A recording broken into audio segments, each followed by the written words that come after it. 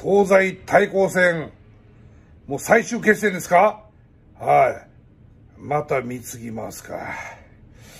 えー、どうだろうね。まあ、がっつりとやってありますから。ああええ、もう僕が、あの、もう先方で出て、叩き潰して、えー、西軍の完全勝利で終わりたいと思いますんで、ぜひ応援に新木場にいらしてください。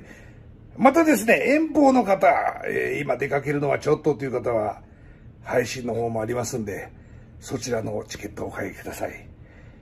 新木場でお待ちしてます。